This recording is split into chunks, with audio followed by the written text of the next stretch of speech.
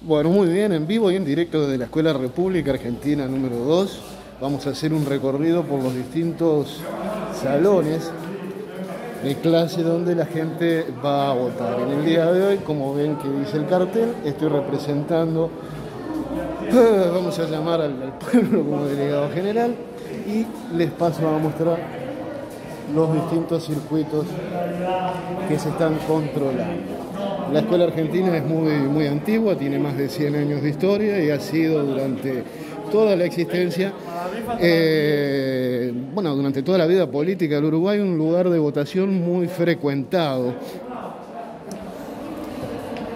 Como ven, paso a mostrarles, el patio ha sido cerrado, no solamente por la claraboya, tiene más de 100 años, sino también bueno, por todos los que se han interesado.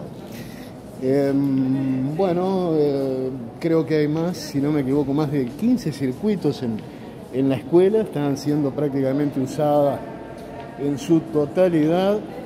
Hay una buena afluencia de público, no se ha presentado ningún tipo de inconveniente, problema ni nada relacionado a nada. El pueblo uruguayo sigue demostrando que es un ejemplo eh, bueno, de correcta, eh, de correcto orden.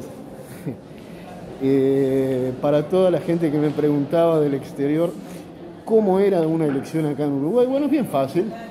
Venís con tu credencial, pasás y, nada, votás, echás adentro de la urna lo que más te guste. Eh, vamos a hacer un directo en el día de hoy cuando se abran las urnas. Todavía no elegí el circuito, voy a tener que hablar con alguno de los presidentes de mesa que se presten para ello. Y bueno, en directo desde el canal Azogador para todos. Un abrazo grande y nos vemos.